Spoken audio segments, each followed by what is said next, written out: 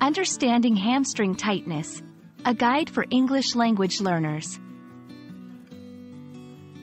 Hello and welcome, everyone. Today, we're diving into a topic that is not only interesting but also very relevant to many of us.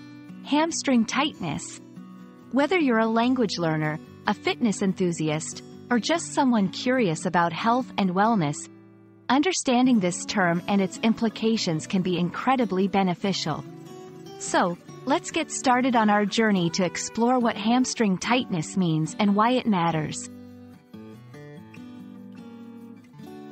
Before we delve into the concept of tightness, it's crucial to understand what hamstrings are.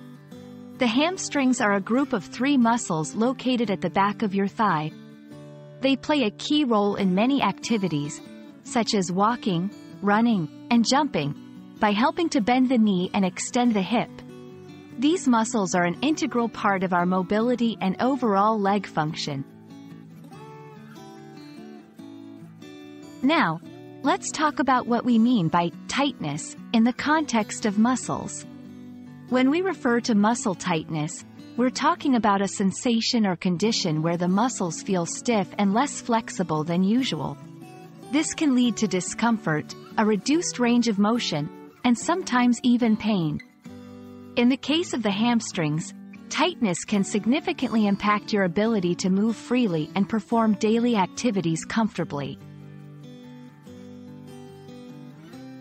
There are several reasons why someone might experience hamstring tightness. These can include lack of stretching, overexertion during physical activities, not warming up properly before exercise, or even sitting for extended periods. Understanding these causes is the first step in preventing and managing hamstring tightness effectively.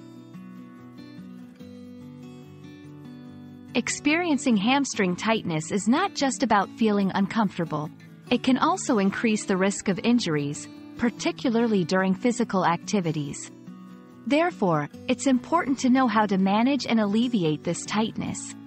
Some effective strategies include regular stretching, incorporating strength training exercises for the hamstrings, ensuring proper warm-up before physical activity, and taking breaks to move around if you're sitting for a long time. Thank you for joining me in exploring the topic of hamstring tightness. Remember, understanding your body and taking proactive steps to care for it can make a big difference in your overall well-being and quality of life. I hope this video has been informative and helpful. Stay healthy, stay informed, and I'll see you in the next video.